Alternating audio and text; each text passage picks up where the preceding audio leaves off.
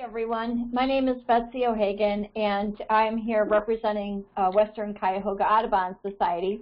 And I'd like to welcome you to our meeting tonight. Uh, this is a hosted space courtesy of WCAS.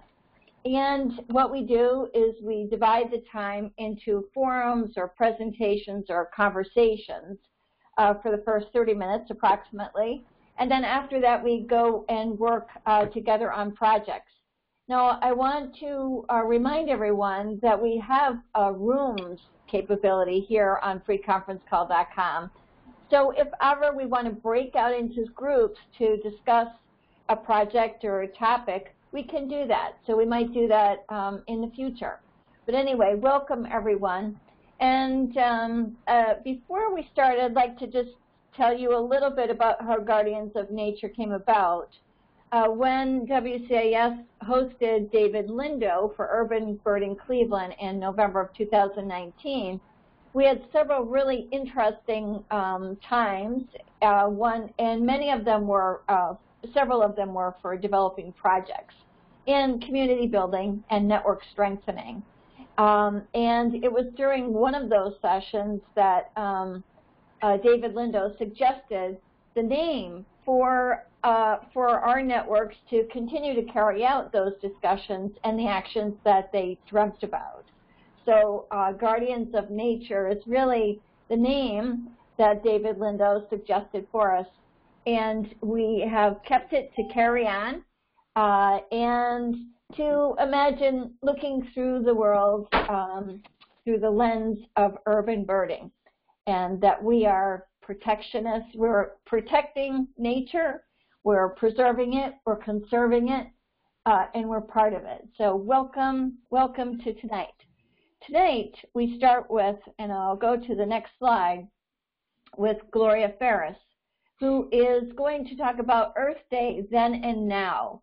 Um, and I don't know if you had a chance, if you subscribed to our emails, you would have um, had a chance to take a look at the video uh, that was produced, a short story uh, on Gloria's take on Earth Day then and now. So with that, I'm going to stop sharing my screen, turn, turn it over to Gloria, who is going to um, talk to us much more about Earth Day then and now. And by the way, happy Earth Day. Okay, Gloria. All right, I, I'm here. Hi, everybody. And uh, I think if you saw what we were going to do tonight, I kind of want to make this an interactive uh, session. And we've got quite a few people here, and we've got a, quite a few different ages. And I see we just had uh, a new a new person show up, Becky Robinson, and I want to thank her for coming. And uh, we've got some different age groups here. I think we have uh, some some of us who are going to be like me, who were there for that first Earth Day. And um, so what I'd like, for those of you who didn't look at the video or didn't read my story blog, um, I was at Bowling Green State University and I was a junior there. And that was in 1970. And a lot of things happened in 1970. And it wasn't all uh, about the uh, the uh, Earth Day and what we were doing there uh, with rivers burning and uh, things were going pretty bad. Our cities had a lot of air pollution. The smog was just incredible here in Cleveland. And uh, but we also had a lot of social unrest, uh, like we are kind of doing now. It's when we invaded Cambodia in the 1970s, and that's when uh, the Vietnam War started to uh, wind down because of the protests for that. And one of the things that I found interesting that day, and I want to know what your take is on what you think Earth Day does and why do we need Earth Day and and what does it mean to you? When did you uh, become active? Did you become active because you uh, we're part of Earth Days, and uh, where do you think we are now, and where would you like to go? The reason I want to talk about where would you like to go is because uh, we want to start a junior membership with programming, and we want to start it from birds. Who doesn't love birds? Who doesn't love watching birds? Uh, what child doesn't look and say, oh, mom, look at that beautiful red bird. What is that? And it's a northern cardinal. And we, we do that early on, and we need to, I believe, keep that wonder, childlike wonder about nature. And more and more we're hearing that people fear nature. They don't want to go out in the woods because they're afraid they'll meet a bear or they, you know, are afraid of the coyotes that have uh, kind of come back into our area because it's a good place to hunt uh, for food for their young ones and things like that. And how do we balance that so that nature becomes something that we want to protect and preserve like uh, Betsy said already. So if you don't remember all those questions, that's fine because if you don't uh, kind of step on them on your own, I'll, I'll give you a little prompt and ask you if that's not part of what you think about. So, uh, Bruce, I kind of gave you a heads up on this. Uh, I'd like to know when you're first, uh, I know it's going to kind of say how old you are, but that's okay. Um, you don't have to get specific about it. But when was your first uh, Earth Day, and what does it mean to you?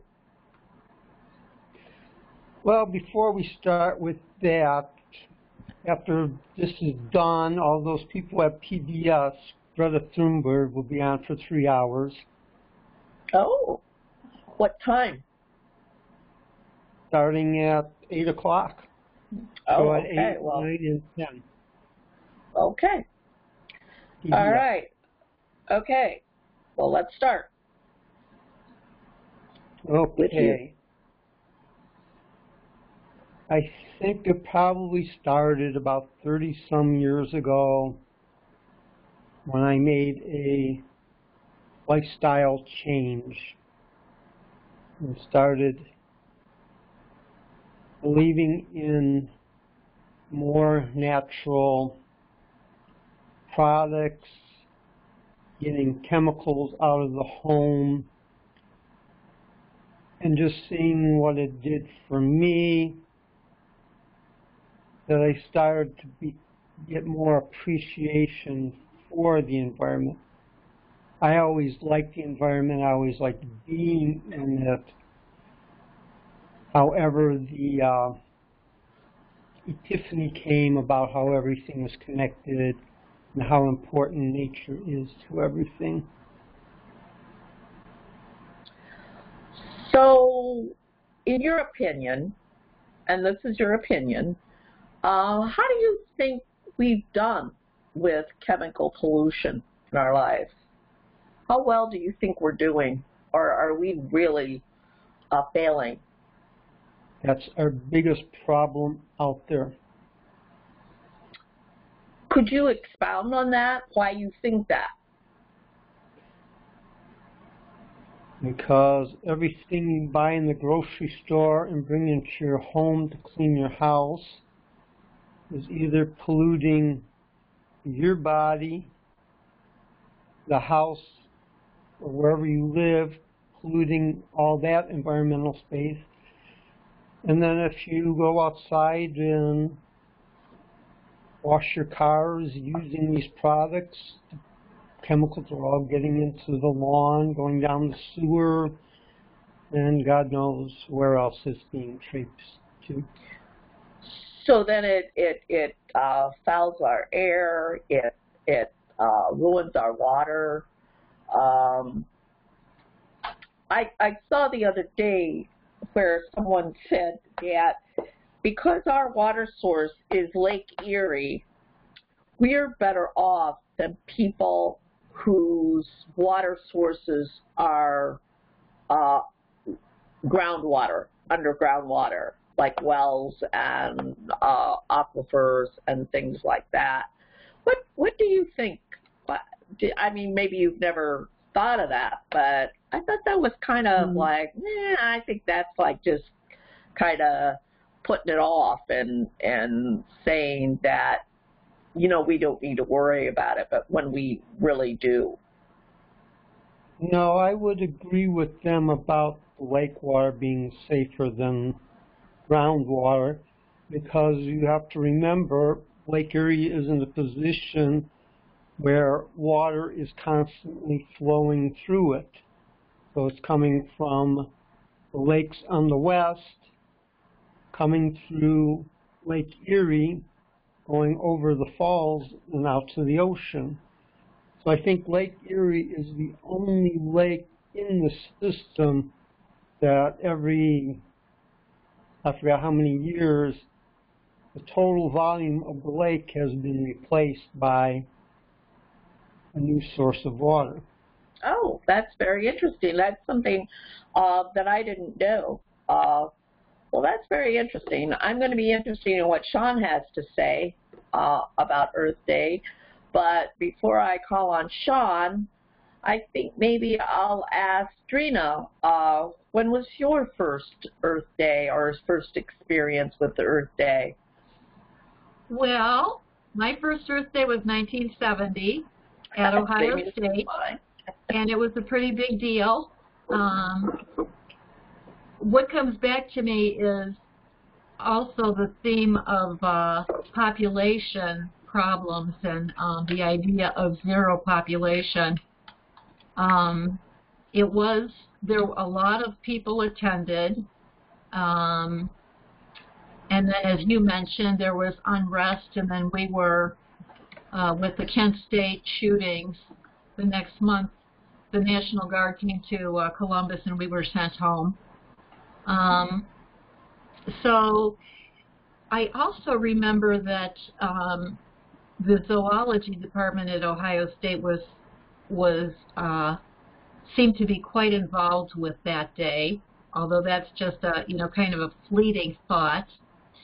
Um, I think the idea of population control um, was has stayed with me, and also some other ideas like um, like uh, the problems we had in um, the United States with our automobiles and how so many of them were of poor poor quality and were obsolete. So uh, at that time, um, I think I developed a sense of let's let's have let's purchase um, automobiles that are of higher quality and not going to be so wasteful. And um, I, I would say that I I haven't been an activist in the way that I think that uh, you've been talking about it and it showed it in your videos. Um, but it's of great concern, you know, and it's part of my um, a kind of philosophy of life to conserve and to appreciate nature. And I think we've seen tremendous, tremendous um, progress in, you know, in the Cleveland area. Uh, it, the smog was terrible. The the state of the Cuyahoga River, the pollution, you couldn't swim in. Really, was recommended to stay away from the beaches in Cleveland, and um, so I think we've come a long way, but it certainly is at a crisis now with uh, a sense of impending doom. I think for our planet.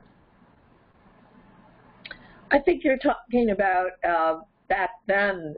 Everybody was into performance cars at that time. That's when you had the Super Bee and you had a, a Dodge Charger and you had all of those, and they used gas like it was just, um, I don't know, what? Well, no, water is is pretty scarce uh, now, um, and becoming more scarce. But it was like we thought that the spigot would never go dry. So Um, how do you think we've done about taking our dependency from coal and gas and oil and bringing in new technologies like solar and uh, wind? And of course, we all know that uh, people who do not uh, agree with solar and wind, a lot of times it's the lithium uh, batteries that are needed. Uh, so I just wonder what you think, how we're doing with that, Drina. Um, have you kept up with that since that's one of the things you're talking about? Um, yeah, I would say I I haven't really kept up with it much at like a scientific uh, knowledge level, but um, in general, I think there have been great strides, and I did see a program this week about um, what airlines, what air, the air, um, the um, jet industry can do with um, not using uh, oil base for their fuels, and that sounded very hopeful. Okay, well that's that's very um, that's very helpful what you've said, and I wanted to ask you one more thing. Oh, the population growth. Um, I guess uh, it seems like we have, like in Sweden and in Europe and here in the United States, uh, that population we've actually uh, kind of gone below what is needed to just replace who we had. And but in other parts of the world, it's exploded. And so, how do you think that we? I mean, is it an ethical thing that we should put that on other parts of the world that mm. you need to keep your population at a certain level? It, it's not it's not our place to say that, is it? Right. I, I understand what you're saying because I agree with you. Uh, mm-hmm. If anybody read Future Shock, that was one of the huge things they talked about was the population and how there would not be enough jobs, there would not be enough food, there would, you know, that we really needed to up our game in innovation and changing the way we did things. And I don't know how well we're doing with that, uh, given the famines and the droughts and the things that we have going on. So just, you know, a little bit of that, and then we're going to move on to the next person. Mm-hmm. Yeah, I think it's uh, uh, a difficult problem, and and also if you know within countries that don't have you know enough in a way enough people to support the the uh, other generations, the older generations, it's going to be difficult to um, perhaps you know sustain our programs, uh, uh, so, like you know Social Security. Um, but in a way, it's an argument for immigration. You know, have people from other countries who want to who want to come here that's, that's a very interesting thought, and yeah, it does kind of help with uh, how we pay for Social Security. Um, let me see, who will I go to next? Uh, Becky, how would you like to uh, uh, give us a little bit about uh, when your first Earth Day was? Sure. Can you hear me? Uh, very, very well. I've never done. I've never talked on these before. Um, I believe in the 70s. I remember when I was in grade school hearing that about Earth Day, and then you know, growing up, you're young and you kind of don't pay attention, I guess. And as I became more aware of my natural surroundings, um, I kind of got involved in astronomy Mm-hmm. and just learning things like uplighting and how bad it is for nature. Mm-hmm. And then I think you start then you start hearing about recycling. And I'm very aware of making sure I recycle the things I can. And then aware about all the trees in my neighborhood, how many are coming down just in my city where I mm-hmm. live here in Northeast Ohio, and I'm getting more on uh, into these Zoom calls and be, becoming more aware of like the Nature Conservancy and and just more things. And my personal goal for myself is trying to see what small part can I do every year to make it a plus for Earth Day as opposed to a minus for Earth Day. Oh, so basically picking something each year that you're going to work on, like say recycling, and you're not only only going to recycle, but you're going to look at repurposing and reducing, and um, you know my big thing. I, and I don't know who's talking about it. Somebody, oh, Snoop Dogg, is doing this thing with SodaStream now, and oh. with a uh, tortoise. And the tortoise is talking about how single-use plastic and um, those ring things are so awful for marine life and how you so then Snoop Dogg talks about well if you get a soda stream and you make this soda you know water yourself or or do this and you could get a stainless steel or a reusable thing. And then there's this big pile of plastic single use plastic that the tortoise pulls in. And it's just like amazing. You see how much. So basically, my daughter and I are going to see how much we can cut down our single-use plastic this year. And so that's one that's that's our one thing to do. So I really like that, Becky. It, it's like, you know, what is the one thing that you could decide to do for this year so that next year on Earth Day we could probably all get together and say, this is how well we did, this is how we did it, you know, and show other people. That's a great, great idea. I see that I'm running out of time, so I got to move on here. okay, Sean. I, I really like your ideas, though, and I'm so glad you uh, came with us, and I hope you stay so you can uh, give us your other ideas because I think that is just a great one that you came up with for us. Thank so, you. Yeah, sure. Okay, uh, Sean, how about if we hear from you and Earth Day? Sure. Uh, well, growing up, um, I, I'd say I'm a little bit younger than everybody else. Um, growing up, and going through school, I remember school having a couple of things, especially in my early years, uh, being in Berea City Schools and the program that we were in, they they were definitely much more advanced than just a standard public school. So first through third grade, we always had some kind of project. I don't remember what we did, but it was it was good. Um, and then as my dad had mentioned, you know, keeping chemicals from the house and things like that, uh, I can definitely attest to that. I have a very, very high sensitivity to chemicals, perfumes, scents. Anything I get has to be unscented. Uh, certain lotions irritate my skin. Um, the uh, laundry detergents, I can only use specific ones. Otherwise, my skin is really irritated from that as well. Uh, so I've developed very, very uh, high sensitivity to all the chemicals out there in the world. Uh, so I've continued that. I don't use chemically based anything anywhere that I can.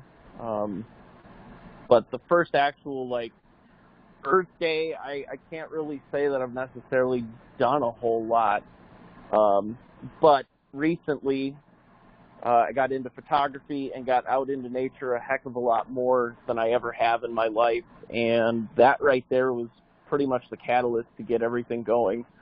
Um, definitely become much more of an activist for nature. Uh, I have a giant thing of woods behind my house and I see all kinds of different critters and I love each and every one of them. And, you know, just because I'm here doesn't mean that they should suffer. So, definitely trying to put forth any effort that I can to get all of this stuff going. Um, been trying to get people to go with me on these bird walks that I do and, and take pictures and all that and just really enjoy nature and see what it's all about. Um, so Earth Day is going to be special from now on for me. Oh, that's really great to hear, Sean. And you know, just like Becky, who's going to do one thing each year and try to put it into this is how I am, this is who I am, this is what I do, you uh, reaching out to other people and saying, I really enjoy this. Uh, why don't you come along and take a walk with me and and and see if you would enjoy it too. I think that's another way for all of us to be advocates of Western Cuyahoga Audubon Society, birding, uh, reconnecting to nature, all of those things that we're trying to promote and preserve. Uh, it's it's really a, a good good way to go, Sean. Another another very good uh, point that I think we've come up with. And um, Sean or Bruce and Drina, you both, uh, from your perspective from the 70s until now, uh, just that chemical pollution that's still there. And in some ways, they're we're doing better, but in another way, they're just labeling it differently. And Drina, yes, population is still a huge. I mean, we're at like what nine billion people, and it doesn't seem like that's. Uh, it's not going down the way uh, it was hoped. And uh, so, Patrick, I'm I'm here to you when was your first Earth Day, and and what does it mean to you, or is it just uh, I don't know? Your life is landscaping and native plants. I I, I think you kind of live it every day, but uh, if you could just give us a few thoughts of what you think and how you feel, Patrick. Did we lose Patrick? I'm here. Can you hear me? Yes, we can hear you just fine. Hi, everybody. Um, I haven't been um, uh, with the group for a long time, so um, I, I mostly just kind of thought I'd sit in and and say hello and get caught up a little bit. Oh, all right. But, But um, we're talking but- about Earth Day today, so you get a chance to say a few words. I don't know that I ever really. Uh, I couldn't. I couldn't look back and remember like uh, when I, uh, you know, celebrated Earth Day for the first time. Um, I don't. I don't really know. I don't really have an answer for that. But um, I guess I can. Um, uh, you're right, though, uh, Gloria. I I've always been since I was just a kid, really. Um, just uh, the the uh, the natural world is just kind of everything to me, you know. And so I'm, I've I've been uh, a bird watcher since uh, uh, since I was in high school. I started a my lifelong list in 1980, you know, and uh, um, I've been into that for a long time. And I just, you know, I've always hung out with people who go hiking, and I started. Um, beekeeping about uh, over 20 years ago, you know, so I've been keeping honeybees for a long time and I've just been, uh, that just became like a huge fascination for me and, um, and continues to be. And, um, so I don't know. I, I, I would have to say that I, I see improvements. Um, there's still, uh, room for much, much more, you know, for sure. Um, you know, the honeybees alone are suffering because of uh, problems with the environment, and so are birds. But we've seen uh, some birds turn make these huge comebacks too. Like, like you know, we're all probably pretty familiar with the story of the bald eagle. And when Earth Day started, you know, 50 years ago, um, things were not looking good for the bald eagle, especially here in northeast Ohio and on the Cuyahoga River and stuff like that. And now there are bald eagles living right on the Cuyahoga River. They're living right in the city, you know. yeah. And uh, the condition of the lake is is better than it was, and the condition of the river is better than it was. Um, but you know, we can't uh, we can't uh, uh, rest on our laurels. You know, there's a lot of work that still needs to be done. You know, and um, but uh, but this is um, it's been nice uh, listening to everybody's comments though, and good to see everybody. Yeah, it is. I think it is too, and I um, you bring up again Bruce's uh, uh, his concern about chemicals, and you're right. DDT was banned, and immediately uh, bald eagles were uh, better off, and that was what started their turnaround. Um, and uh, but there still are, uh, the, like you said, the bees, but we also have a lot of insects. I mean, um, don't want to rain on our parade of, yes, we've made success, but they're saying that we face an insect apocalypse uh, if we don't turn that around. And I think one of the big things is lightning bugs. Uh, you just don't see fireflies the way uh, we did in the past. And uh, I think that that kind of, to me, is one of the things that I think we need to kind of stress to our young youngsters when we uh, do our junior membership about uh, the the humming that you hear and the crickets and all of those night sounds that are kind of not not as uh, prevalent as we once had. So, thanks Patrick, and I'm glad you're here tonight. Um, and you just want to see what's going on. That's that's good. And I had no idea you were a beekeeper, so I found something new and different about you. Betsy, I know I'm a little bit over time, but I kind of wanted to know what you uh, had to say about Earth Day and when your first Earth Day was.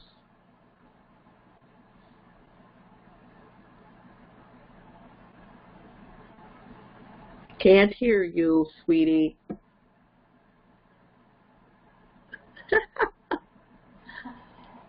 yes, it's 7:38, but um, and we are, but we did start a few minutes late.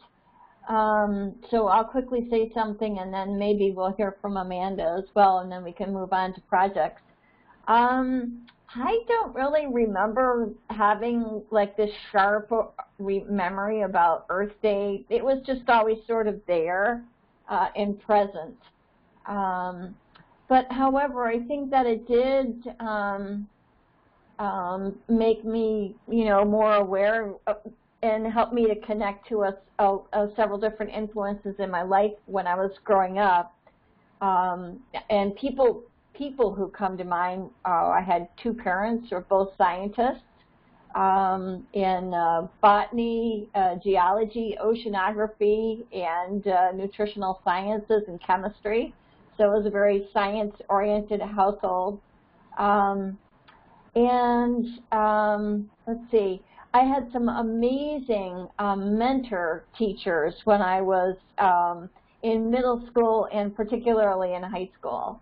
Um, I had, of course, you couldn't do this now, but I had a biology teacher who was just, just amazing. He handed me a project book of lab experiments, which, and he would stay after school with me. He would correct papers and turn the lab over to me and this book. And I, I just did project after project after project. And then he would drive me home. so you never, you know, it was, uh, that's a sort of a historical story. but, um, and because of that, um, I really pursued a strong interest in, in college uh, in science, um, in plant anatomy and different things. So, um, yeah, and I was, I just remember I was always doing projects. Um, our household was just sort of like that, and my mom was a huge naturalist and canoeer, and we she was a huge camper, which I was not crazy about, but um, but nonetheless, uh, we got to see all kinds of beautiful uh, natural landscapes where I grew up in New England. So, and we traveled nearly every state, and including the deep woods of Maine, the backwoods of Maine, uh, where I'm originally from. And uh, so anyway, so science, science, science. Uh, just always been been a pleasure and and a unlimited sort of vortex of amazing discovery and information, and always uh, cues my curiosities.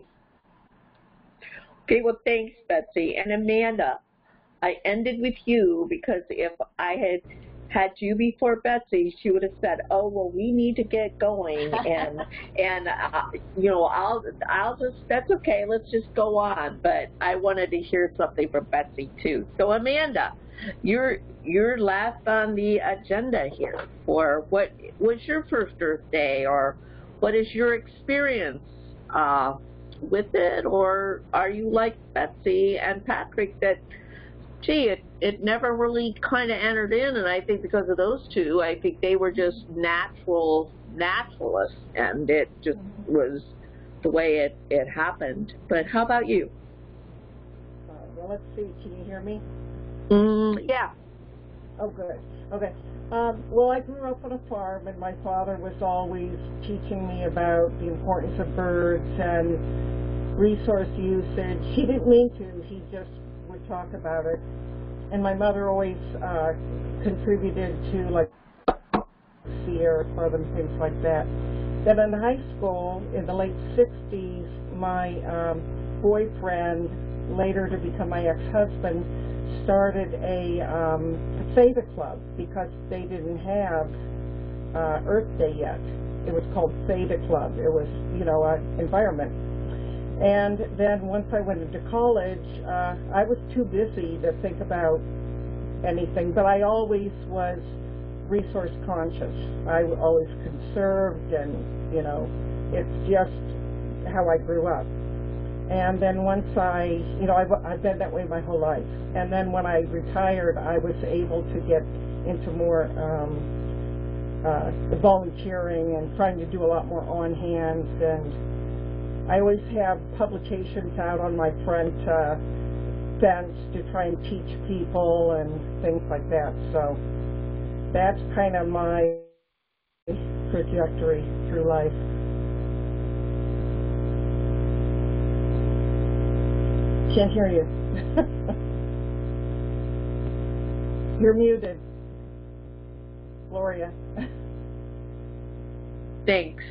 Uh, Uh-huh. So, uh, what you're saying is you have a, a bench or a, a something where you put out uh, publications or you uh, share it with people so they know what yeah. you're you're thinking and what you're doing. And I know that you have written some very very good things for uh, Western Cuyahoga, and I'd love. I know you're busy. I know you're doing a lot of uh, your chimney swift work, and I know you're still uh, coming back from your shoulder energy and all of that. Uh, but I, I love to see your writing. And uh, Bruce, you started writing, and anybody, Becky, if you would like to write a a story or a news blog, or Patrick, I know this is your busy time of year, but it's a it's an added benefit that you get for being part of Western Cuyahoga Audubon Society, I think, is with the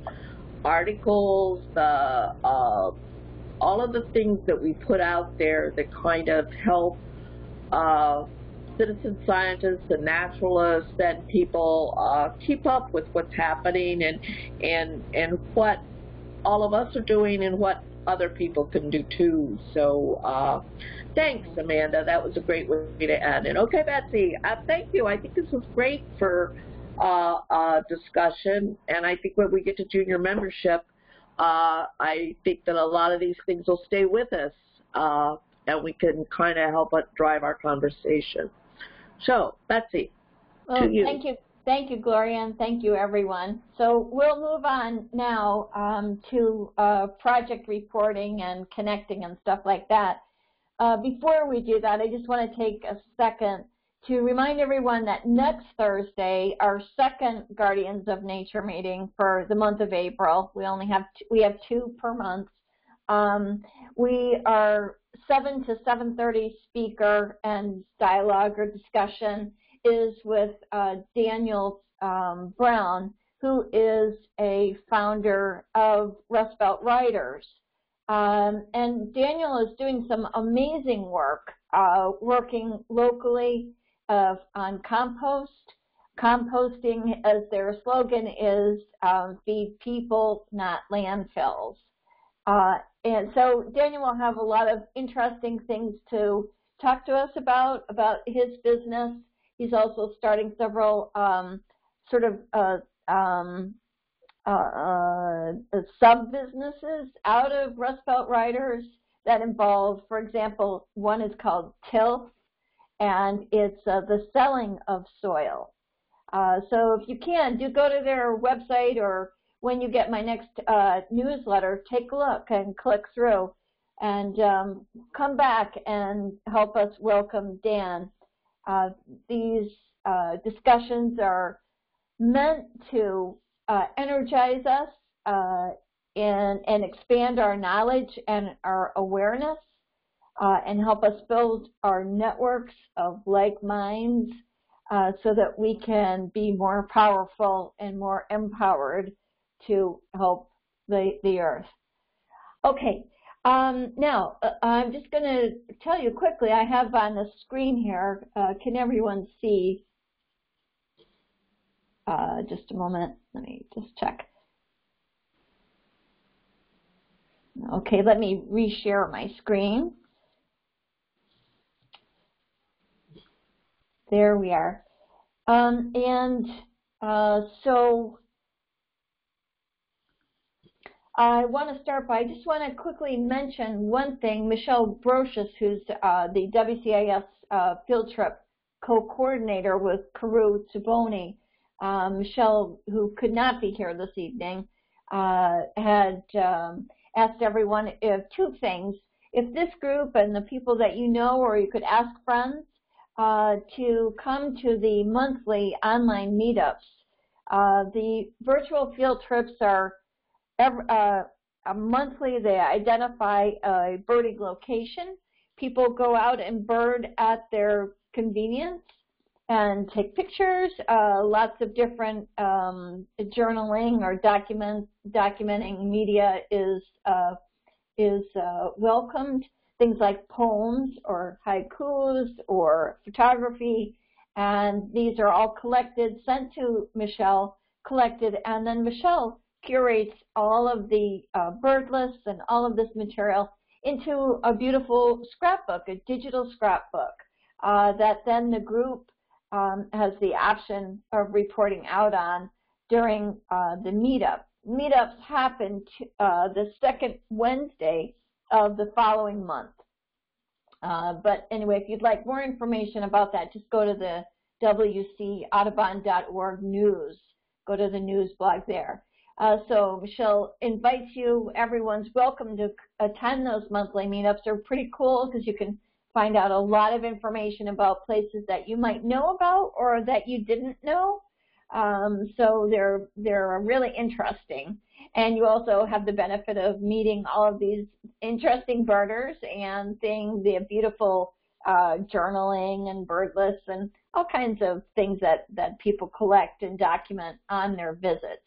The second thing is she asked if I would please uh, um, remind everyone um, that guardians are guardians of nature, our network. We could be help uh, the virtual field trip endeavor by marketing uh, WCAS events on social media, whether it's a field trip or um, Guardians of Nature meeting or something else. But generally, anything that's um, published to the news blog uh, is uh, involves news and announcements, and those are wonderful things to share. Um, I did send uh, a text out to Crew. She's not here quite yet. Um, and I haven't heard from her, so maybe something's come up for her.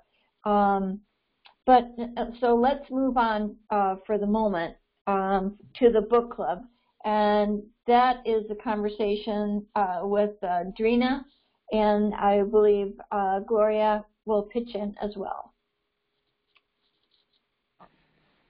Okay, I can, I can start, and I just would like to start by saying thank you to Gloria and to Betsy for launching the uh, book club last September with some excellent programming and authors. And uh, since I retired last summer, um, I was able to then do this kind of activity, which I kind of always wanted to do, but really did not have the opportunity uh, while working. So um, they had set up a monthly schedule for an author, one on the third Sunday evening of the month, and then on the fourth Sunday evening of the month, there would be a book discussion. And those have been really wonderful opportunities. Last Sunday, we had uh, Katie Fallon uh, for the second time this season, and she did a wonderful presentation on cerulean warblers, and uh, the book was very interesting. Uh, I really enjoyed reading her book, and um, and it uh, she had also done the program on vultures, and that was another good book. And actually, she helped to take me into you know kind of this new age of reading on uh, reading books electronically, which I had not really done before. So I feel like I've made a, a little uh, leap here. Um, so uh, the next step then is to continue the programming and to develop, uh, a, let's say, a season of presentations that will be attractive to people and that they'll be able to plan ahead for. I would ask any of you who know people uh, who are authors and would be agreeable to speaking and think it would be appropriate topics for that could have anything to do really with nature, but especially birds. Um, I come from the nursing world and I know a lot about nursing. I'm not uh, that up yet on um, the birding world and birding literature, but I'm finding out a lot. So uh, I have enjoyed it really, and um, I hope we will continue to have such good programming. I don't know if there's anything else you'd like to add, Gloria.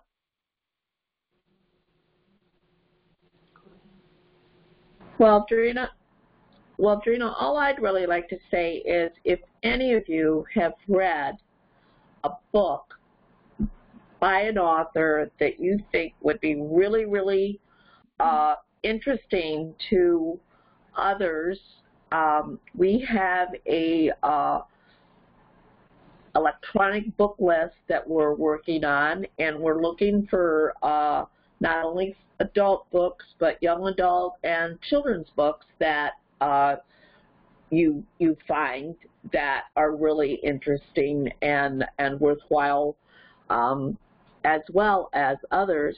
And I just want to stress what um, Drina said is that we're looking for local authors or authors that are in the United States or even an international author that would be interesting interested in um, speaking to us on a Sunday night, um, the third Sunday.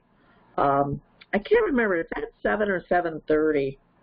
Seven. It's, it's seven, seven, seven to eight.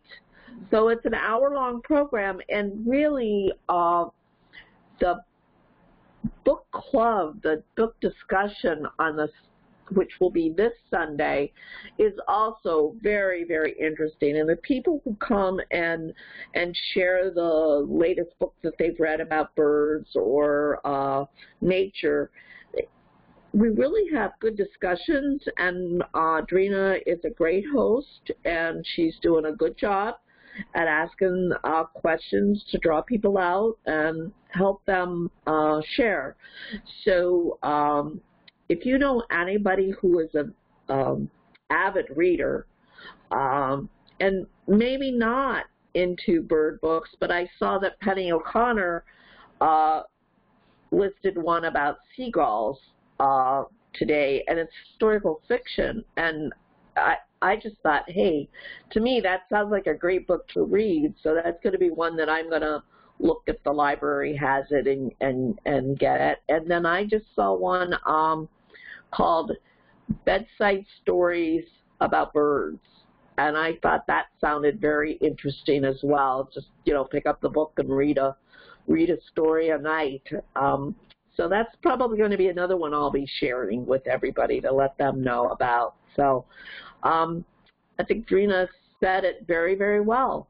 And we do want to build this, and it's slow building. It's not a quick, quick thing. Um, but I think the more people talk about it, say, hey, you ought to, to look at it, you ought to join us. Um, and we still need to uh, figure out ticketing and, and how we should do that. And, you know, maybe there should be just join the book club and there's a one-time fee for a year or, or something. We need to still kind of, we're, we're finding our way on that. But uh, please, if you, if you love to read, uh, give us a try. Uh, Drina and I will be there this Sunday.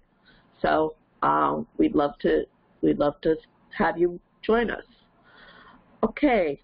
All right. Betsy. Well, thank you. Uh, and if anyone has any book or author suggestions, as Gloria and Drina were saying, just uh, shoot uh, Drina or Gloria an email. Both of their addresses are shown on the screen. Um, and do try to come. Uh, they're really fun on the third and fourth Sundays of every month. All right, all right, let's move on. Um, the next section is um, about fundraising. Uh, and I kind of gave this to Gloria, although everyone can pitch in. Uh, we're going to talk uh, briefly, uh, highlights and updates on four aspects of fundraising that uh, need to be addressed. One is the Junior Guardians of Nature membership program. That's one thing. Second one is the artwork donation pricing project. That's uh, um, that Shaun Missig has donated. So it'd be great if we had a couple of comments or feedback on pricing. This is to help help people work work projects out so that they can be stronger and be a success. Uh, third one is spring membership campaign. Um, and the fourth one is, I, I added that one in, is digital transformation fundraising campaign. I think this is the big elephant in the room that we need to get, uh, we need to address.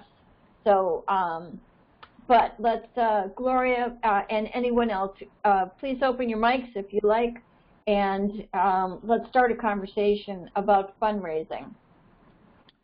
Um, Betsy, did you have, uh, do you have a slide for the Junior Guardians of Nature membership program? Did I you know, see one? You know, I think I do. Um, let, let me just flip through the slide for a minute. Well, here here is one. Is this what you had in mind? Yeah. Okay. Um, so the purpose of the junior membership was to continue uh, our community outreach uh, to you started with urban birding that uh, Betsy checked on earlier. Now, um, what we want to do is to extend membership to preteens and teenagers, and me, myself, and I I've kind of decided to try to do preteens and teenagers at the same time is a big uh, bite of the elephant to chew. So I believe this year that we should stick with trying to keep our middle school middle schoolers uh, with things to do.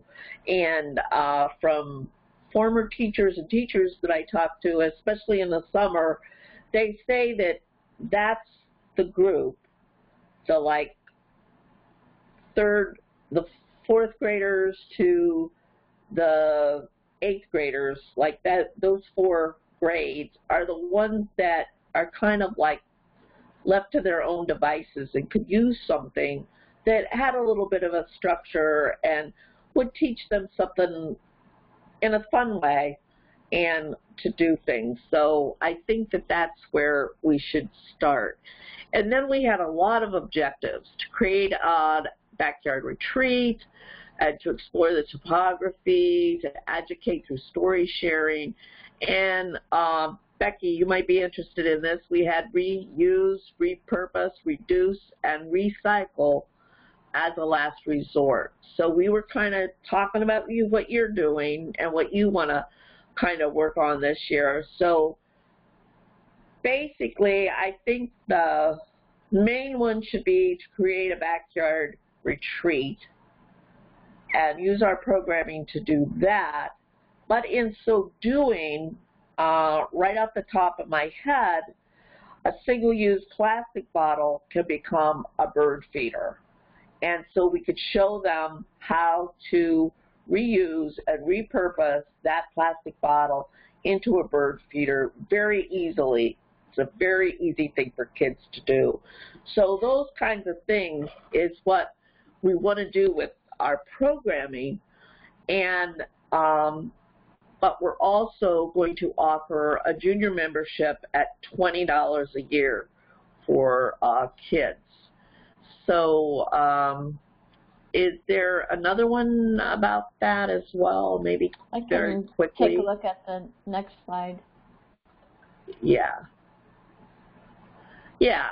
So if you look at Backyard Retreat, we have a whole thing of food, shelter, cover, raising young, water, uh, soil, types of plants. We could take in our native plant uh, plant sales and kind of push that out. And Bruce, uh, you and I talked a year ago uh, when we both applied for that Sierra uh, Club native plant garden that we didn't get, either one of us. But I'm thinking that you had wanted to add native plants to your garden, and I thought, and I'm doing that too this year. So I thought we could use that, our gardens, as a learning demonstration way of how to plant a native plant, how to do seed bombs, and how to do those things. So that's kind of what our uh, programming will be, and that will be in addition to the junior membership, which is $20. Uh, we've talked about whether that is going to be ticketed, which we are going to have to have some kind of ticketing or sponsorship to defray the costs of putting that uh, programming into our archive and to do the marketing that we need to do. So uh, right now, I think that's an update on the Junior Guardian membership. And um, I guess we're going back to what uh, the next one is, which is uh, Shaun.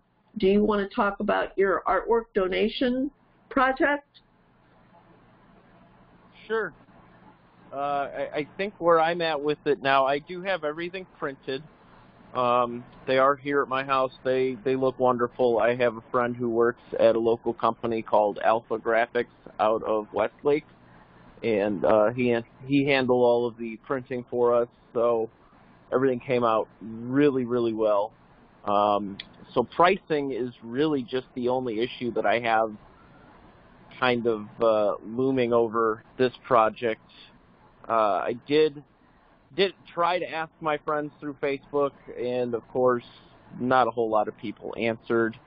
Uh, but I did ask some other coworkers for input in terms of, you know, what price would be good for them, what what would they want to see, uh, and if they would be more inclined to say pay a higher price um, if they knew that it was uh, for a donation to the Western Cuyahoga Audubon, uh, rather than it just being, hey, you're paying this much to get my piece of artwork that I created. Um, It- the majority of the people, Yeah, excuse Yeah. me, Shaun. Um, I'm going to stop sharing my screen, and could you also give people and I uh, just tell people what your project is?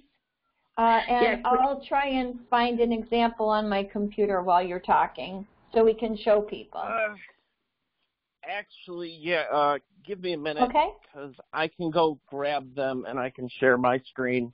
Oh, all right. uh, or or at least or at least or well, no, sharing my screen won't work, but I can at least turn on my camera and hold the things in front of the camera.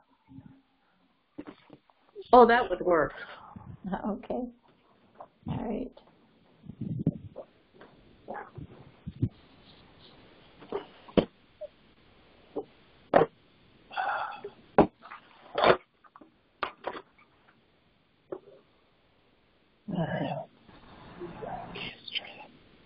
Okay, can there you see you me? are. Yes. All right. Okay, uh, is this in frame? Uh, sort of. Yeah. That's a little I, better. I have no way of monitoring. That's okay. That's good. There we go. Okay, I can see myself So now. can can So- you tell us what this is, how many there are, um, and uh, back out just a little bit so we can see um, the poetry on the bottom and There give go. dimensions and stuff like that. So we need help Okay. on figuring out pricing. These will be placed these at the WC Audubon store. Excuse me. Yeah, these these are all printed on eight and a half by eleven sheets of uh, cardstock, so it's a little bit thicker than a standard sheet of paper. Uh, there's five different designs. This one is the design from the actual field trip that I wrote the poem for. So up top you can see there's going to be a photo. Below that then is the poem that I wrote, uh, inspired by that trip to the uh, Ohio and Erie Canal park there uh, on East 49th. So each one of these does have the same poem, um, but then I just changed up the picture. So this is a robin for springtime. I then have a yellow swallowtail for summer. Found this at uh, Rocky River Reservation for fall, and then this is French Creek Park for winter. There are a total of 250 of these. So I have uh, 50 of each that are available. And I guess I, I put together two different pricing schemes. And that's that's kind of where I'm sitting. One's a little bit lower uh, to kind of be tantalizing to anybody really, and then the other one's a little bit higher with uh, higher donations in mind. T- tell us what those levels are, please. Uh, sure. Let me pull up that email because I forgot off the top of my head. And then maybe this group can noodle it around in your mind and see if you have any off the top of your head feedback or reactions. Okay, so so the the cheaper of the two scenarios, with the idea of um, getting more people involved, would be you get a single choice of uh, any of the designs for a twenty dollar donation. For thirty dollars, you would get two designs. Fifty dollars, you get three. Sixty dollars, you get four, and you could get all five of the designs for eighty dollars. The other pricing scenario that I came up with, which was the higher tier, so more focused on bringing more money in, would be you get the single shot for 50, you can get two for 75, three for 100, four for 125, and if you wanted to get all five designs, then it would be 150. All of these would be unframed, and just as you saw them, uh, I do have envelopes to deliver them, um, and of course we could obviously mail them. I know once this goes live, I have uh, friends in Pennsylvania that'll more than likely jump on this. I also have friends in Michigan that will likely be jumping on this as well, so I'll definitely have a lot to mail out. Um, but that that's kind of where I'm at is with the pricing. Like I said, I have everything here; it's all printed, ready to go. Well, that's a wonderful project, and, and that's an out, outgrowth of uh, the virtual field trips, which I think is totally cool and very generous uh, donation on your part. Time and Um, labor and creative power. Well, I, Okay. I had to give back because honestly, the virtual field trips have been a huge, huge impact on my life since I started doing them. Um, oh, nice. and Aw. it's it's great. So w- without Good, them and good. without getting out there into nature, I wouldn't be Mhm. where I'm at today. So uh, I'm definitely going to be giving back as much as I can. Oh, Well, that's very, really good. very nice. Um, Off the top of my head, I like the first pricing better, I believe. I think uh, you're right, Shaun. I think we'll get a bigger audience. Uh, we can kind of grow it. I can see that, you know, you've already uh, figured out that you're going to have some sales, but I also could see uh, people wanting to give them as gifts. Mm. Um, I'm thinking Mother's Day and Father's Day. If we could get them up at the store that quickly, we could start kind of promoting that that's something that you could buy from WCAS for us. And, you know, uh, an unframed print for $20 is not, uh, uh, that's not unreasonable. I don't believe. And those, I, I love the French Creek one and the Rocky River one. Those are my two. Those would be the two. In fact, probably will be the two that I purchase. But uh, and I'll probably keep one for myself and, and give one to a friend. But uh, and that's because of the poem. I, you know, I think that I'd want to put the poem one place in in my house and not have it two places. That's just me. But I'd like to know what other people uh, think as far as pricing or or whatever. Uh, Becky, you're new, but I would like you just to hop right in here and maybe go at top of mind what you think uh, of of the idea of first of all trying to get them out there for Mother's Day and Father's Day, and um, how how's your thoughts about pricing? Do you think we're we're in kind of in the ballpark, or or what are we doing? And I think we all need to remember, like Shaun said, this isn't. Uh, it's a donation to WCAS as well as the his photography. So, uh, Well, to be honest, I've never really been involved in any kind of fundraising. I've always just volunteered my time, and I'm not. Uh, just my own personal thing. I think the pricing's fine. Um, it's not anything I would get because I usually just like to. I would like. To me, I'm retired. I I can't afford the higher pricing, but I usually don't put things on my walls. You're gonna laugh, and it's just not my my thing, but um, price wise, it seems okay for the for the lower one for people who could you know can afford it and like stuff on their walls. okay, that Probably sounds kind of weird, but I you know I'm just being honest. No, No. it doesn't. You don't sound weird at all. That's No. exactly what we're looking for is um, just help thinking and figuring stuff out. and Yeah. Okay. and Becky, that's that's where we all can come from is our own experience and Yeah. what we would do and what we were, you know, and it, you know, I mean, you were just saying like it is. It's I don't put things on my walls, so no, it's not something I would buy. But for someone who would, I think the price is okay. That's that's it. That's yeah, that great. probably it. Yeah. yeah. No, no, just great. Thank you. And thank you. I I don't like to put people on the spot, but I also like to get people who are new to our group involved in what we're doing. Amanda, are you still here? Amanda leave? No, she's No, here. Amanda's here.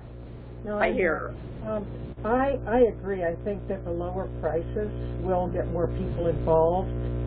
Um, and I, and I agree too. I don't get stuff anymore because I'm trying to be junk. so I don't buy stuff. But um, if I would, it's I think it's a good price range, the lower prices. And I think they're beautiful. I really Yeah. like them.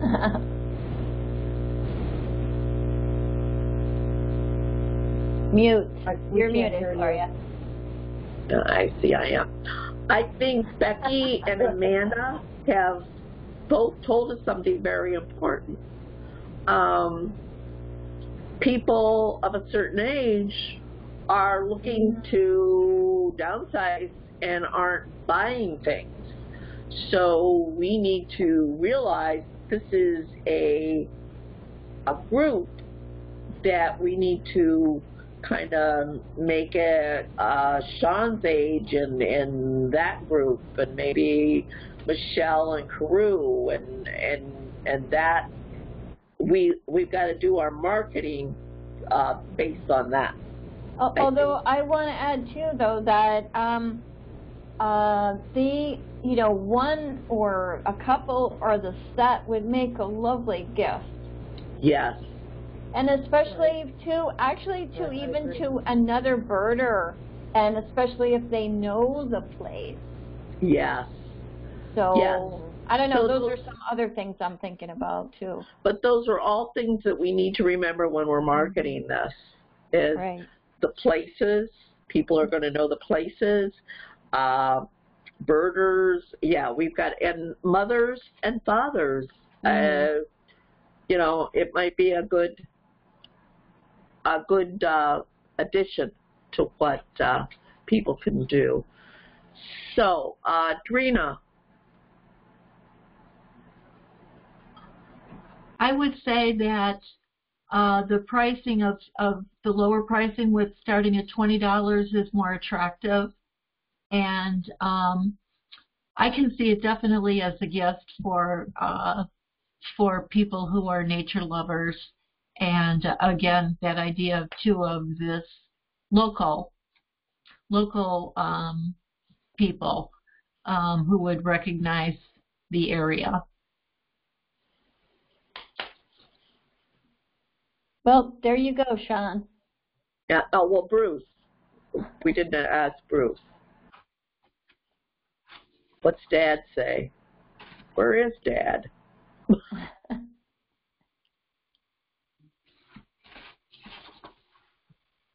I don't know. It wasn't my turn to watch it. I get all mine free. oh, Gloria, you're muted. I didn't print any extras. Oh, uh oh. I thought maybe we lost you to PBS. I, I'm sorry. I. okay. Uh, well, Shaun, there you have it. I think that did that help you? Yes, yes, and uh, you know, I had a few people who said that they would pay the higher price uh, because they know that it's going to the Audubon rather than they're Mhm. just paying for um, for my piece of art. But at the same time, that might uh, make them more inclined to buy more of them, more of the prints. Then, so Right. you know, I don't I don't mind putting it at low. Uh, regardless, you know, this is all going to the Audubon, so it's it's going to be great. Um, and I do want to say that if this is a success, I have no problem printing more. I have no problem changing up the design. Um, and I've also probably later this year, provided that these sell well, I want to work with uh, Tom Fishburne, and I want to get some of him his images if he wants to join up with this and put him uh, his images on there rather than mine, uh, and really just try and make this a very collaborative effort because he he's definitely somebody who has influenced me since I started doing the virtual field trips and. Uh, just an all-around great guy. Takes some great photos. Yeah. So to spotlight that as well would be great too. So lots of things Shaun? the future if this goes well. Good. Shaun, I, I truly believe Tom will be on board with this and willing to collaborate with you because he has offered some of his photographs, uh, I believe, uh, framed, but his feeling is that people don't like framed photos anymore. So I think that uh, with an added poem or haiku or something with his, I'm sure he would be on this with you, that he would be glad to collaborate with you. So I would say, yeah, uh, he'd be one that Yeah. would be great. So I'm glad to hear that you thought of Tom. Good, good. Okay, let's let's move on. It's 8:20. I'd like to finish by 8:30. Yeah, I Um, think we can. Good. Uh, spring membership campaign. Uh, this was brought up recently uh, in an effort to attract new members primarily uh, to Western Cuyahoga Audubon Society, always working to uh, uh, grow membership um, and um, get the word out and promote the Audubon mission. Um, we were thinking, I'm sorry, I don't have, well, we were thinking of starting it May, um, from May 1st through to the tw the 20th? June Of June. 20th, uh, Right. because right after Father's Day.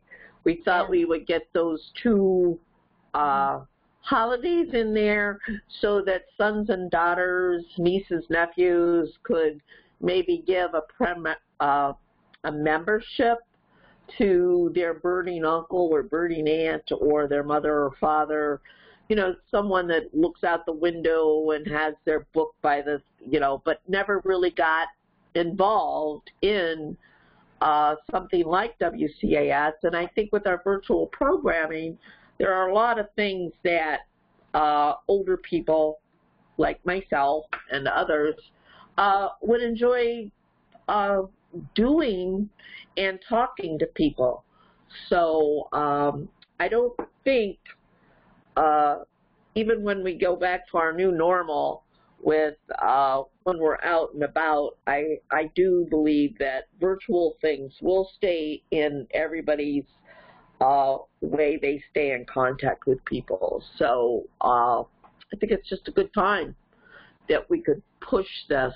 Uh, and um, Betsy, do you want to talk about the incentives? Do you remember what we said about like having a drawing um, for people that if you if they got the membership, then they are placed in a drawing that they get uh, maybe a, a pound of birds and beans coffee could be one uh, thing. Uh, two ice cream gift cards from Mitchell's, and I can't remember. Oh, uh, year's subscription. We were going to ask Wendy Clark about a uh, year's subscription to uh, Birdwatchers Digest.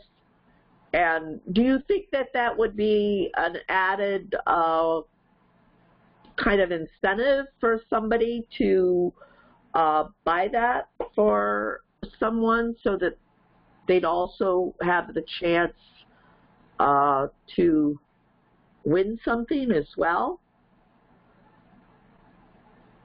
I just wonder what everybody thinks about that.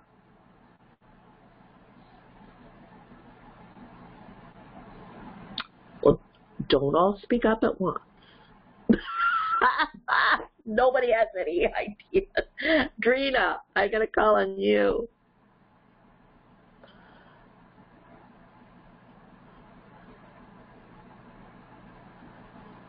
Please forgive me, I wasn't listening. That's okay.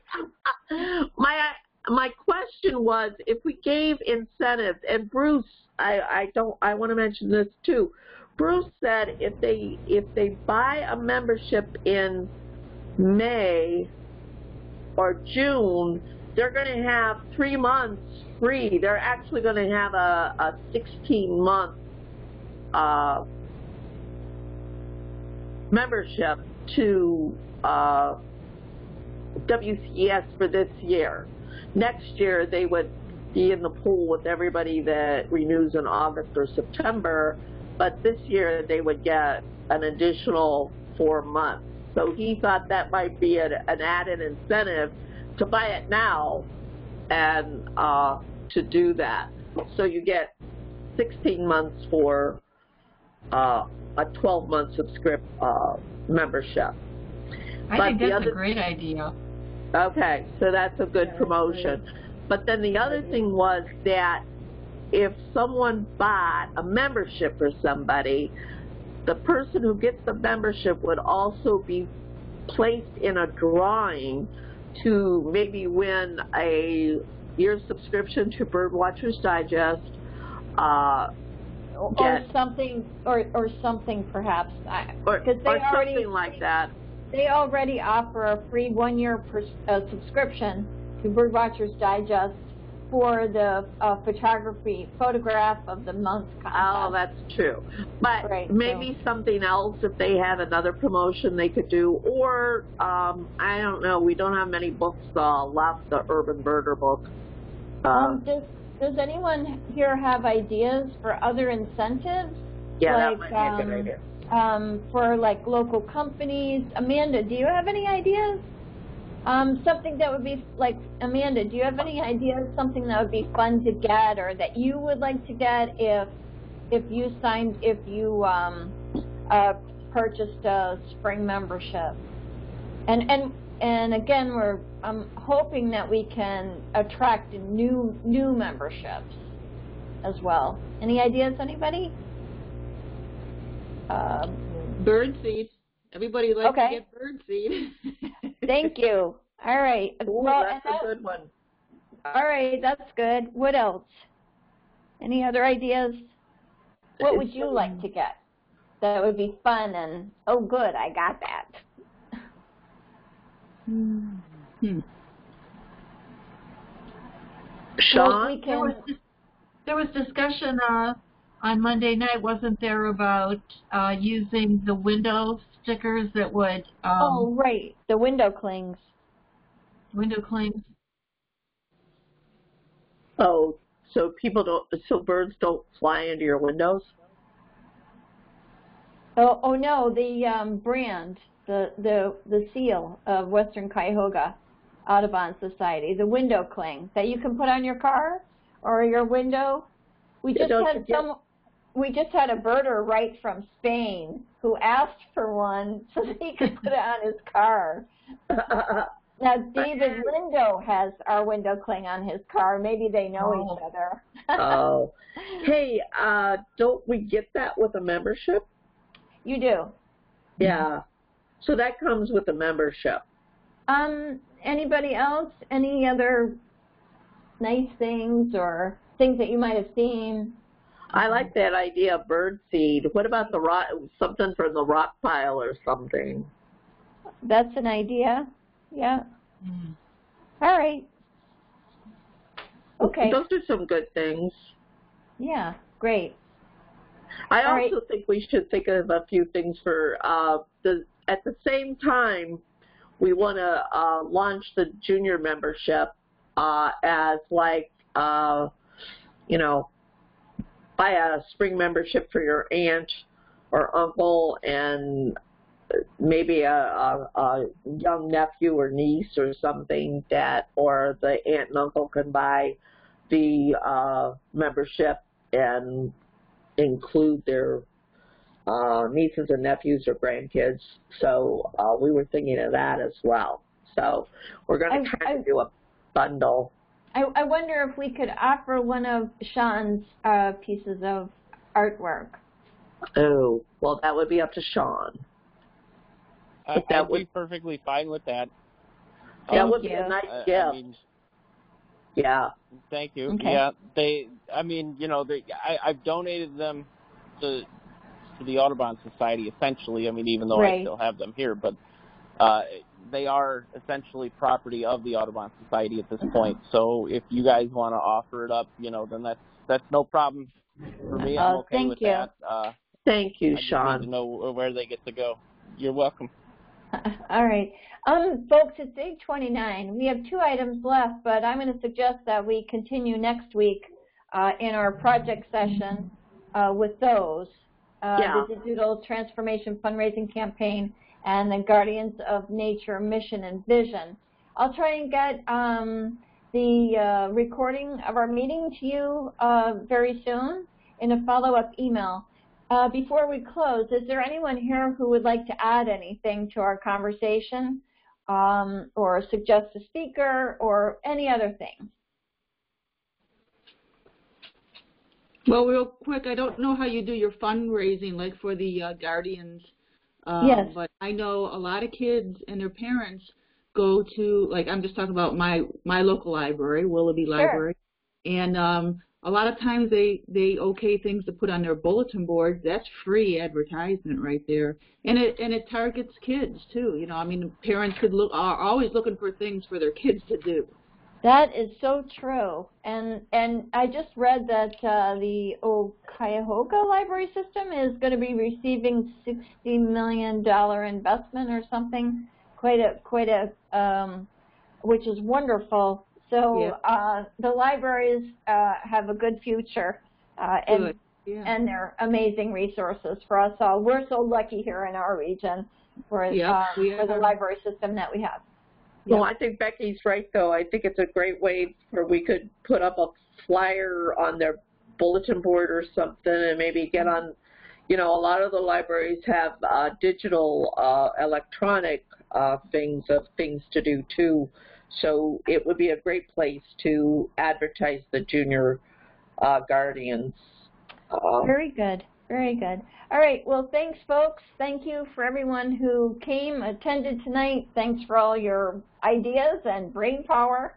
And uh, I hope that we see you next Thursday. Uh, be sure to try to come and try to bring a friend. Um, Dan Brown from Rust Belt Riders is going to be very interesting. And we'll continue our conversation about projects um, and so that we can move along and make progress. All right. Okay. Happy Earth Day. Thank you, Gloria. Well, thank you, everybody. Uh, I enjoyed myself. It was great to hear everybody's thoughts about uh, Earth Day. And yeah, I think uh, we all need to learn more about composting and what we can do and and help the soil. So uh, I think it's a. I'm going to be there uh, next Thursday. So see Very you all good. next Thursday. I hope. Happy Bye-bye, Earth everybody. Day. Thank you. Bye bye. Bye-bye.